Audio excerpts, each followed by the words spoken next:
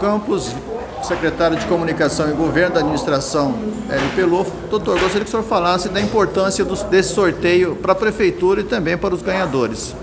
A importância desse sorteio é, é, porque ela vem coroar um trabalho que vem sendo realizado desde o início dessa administração.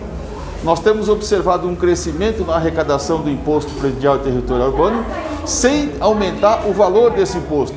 Isso quer dizer o quê? Isso quer dizer que a população confia na administração e tem feito a sua parte, no sentido de honrar o imposto nas datas dos vencimentos.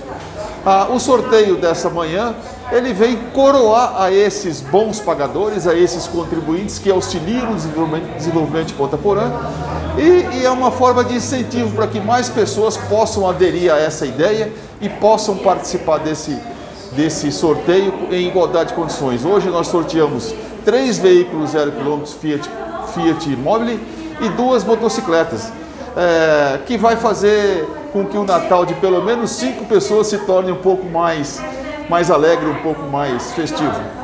É interessante você falar do IPTU, que é um imposto que fica 100% investido no nosso município, até nas contas partidas, né, doutor?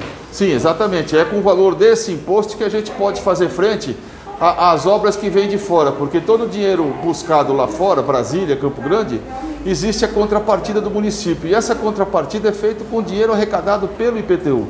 Daí a importância da população ter a consciência de fazer o recolhimento nas datas certas, porque aí estaria, estará contribuindo com o sucesso e com o desenvolvimento da nossa cidade.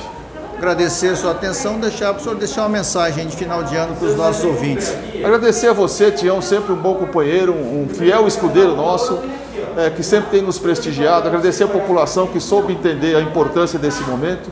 Desejar a todos um Feliz Natal e um próspero Ano Novo.